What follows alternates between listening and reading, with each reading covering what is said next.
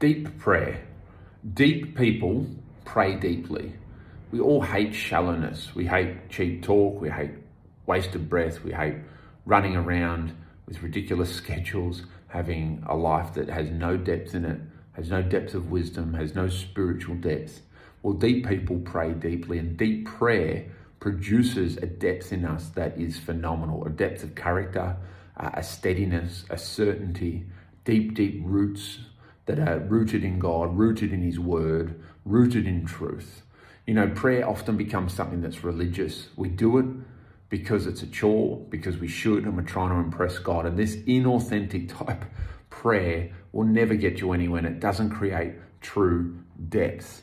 Also, we can pray sometimes because we want help. This is self help prayer. It doesn't create depth. It creates feelings, it creates emotions.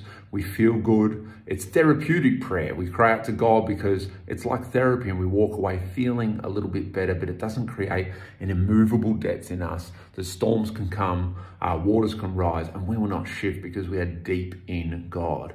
Philippians 3:10 really gives us the insight. Paul tells us kind of how he prays, what he focuses on. And to be a deep person, to be you need to be a deep prayer. To be a deep prayer, you need to focus your prayer on knowing Christ.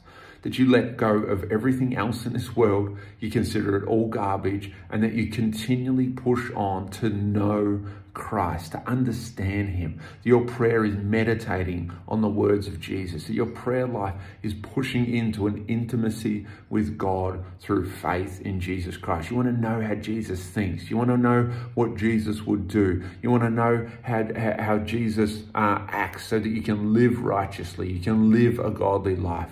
So to have deep prayer is to know Christ. Go and read Philippians 3.10 or 3, 7 to uh, about 15. It's phenomenal on knowing Christ.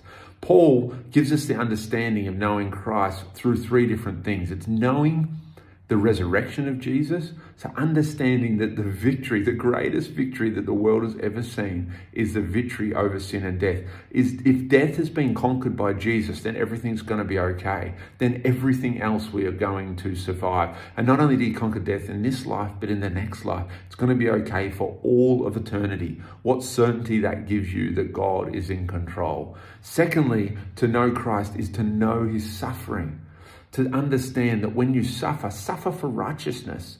Don't suffer for foolishness, but suffer because you live a righteous life, because you're a man or woman of truth, because you have a phenomenal depth in following Jesus that brings about persecution, brings disagreement, uh, brings people who want to attack you. And that's okay because suffering for Christ creates depth within us. And it's to know the sufferings of Jesus, is to know Christ. And finally, it's to know God or to know Jesus by being transformed into the likeness of his son, into the likeness of Jesus Christ.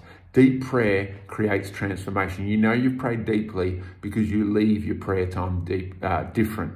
You leave your prayer time deeper. This is what it means to know Christ. This is what it means to deep, deeply pray and to become a deeper person. God wants you to be deep. You want to be deep. No one wants to be shallow. God needs warriors. He needs men and women of God. He needs people of deep character.